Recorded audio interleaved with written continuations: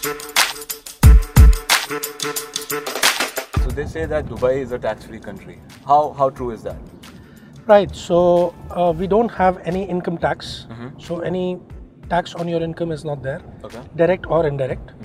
Uh, we don't have any capital gain tax. So when you buy and sell a property, whatever amount of profit you make, you are not taxed on that.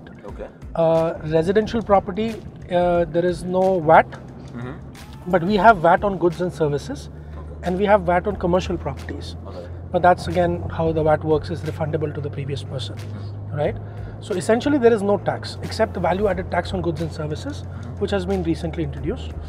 In terms of residential property, your rental income is not taxed, your capital gain is not taxed. The only thing that you have to pay to the government while buying a property is a 4% registration fees. Okay. So that's your land department registration fees where you are legal owner and registered owner of that property in Dubai. Okay.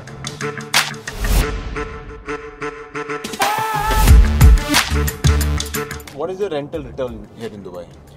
So basically it depends on areas. Okay. Generally we say on apartments rental return is between 6 to 8% okay per annum which is actually one of the highest in the world. Okay. And bear in mind and I've said this earlier also this is in dollar terms because Wow. because uh, dirhams is pegged to dollars. Yeah. So you're earning 6 to 8% per annum in dollars. Now, if you go luxury properties, hmm. the rental returns will start dipping. Hmm. If you will go to non primary properties, the rental return will increase. That's thumb rule across the world in real estate. Okay. If you will buy a huge mansion, you cannot expect a 6% or 8% return. Hmm. Then your return is going to be 1 or 1.5%. If you buy a studio or a one bedroom apartment, which is for employees, which is for middle class people, hmm. you can expect to make 7 8% net return on that property. Wow, that's good. Yeah.